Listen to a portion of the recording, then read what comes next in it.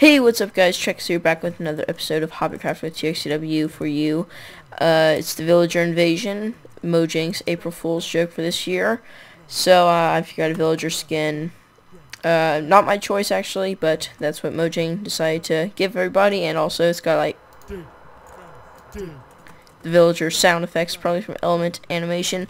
But anyways guys, um, this is going to be the final episode of Hobbitcraft. As you saw last episode, we lost all of our stuff. Probably as like reverb from the snapshot or something, changing back from the snapshot to the release. So we don't have any of our stuff. Like my inventory is empty. I've got my XP though. Thank goodness for that, which I don't really care about. Then like furnaces are all empty. Chests are all empty. Everything's empty pretty much, which is kind of weird. Um, and I think it's reverb from the snapshot.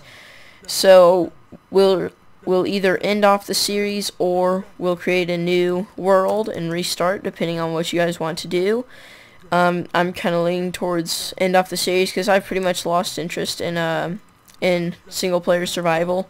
Uh, still kind of interested in co-op survival, and I still like, I still really, really enjoy playing mini games. I might just do solely that uh, once we finish co-op survival, but I want to focus more on Terraria and um, play more Minecraft mini games. So this is probably going to be the end of Hobbitcraft.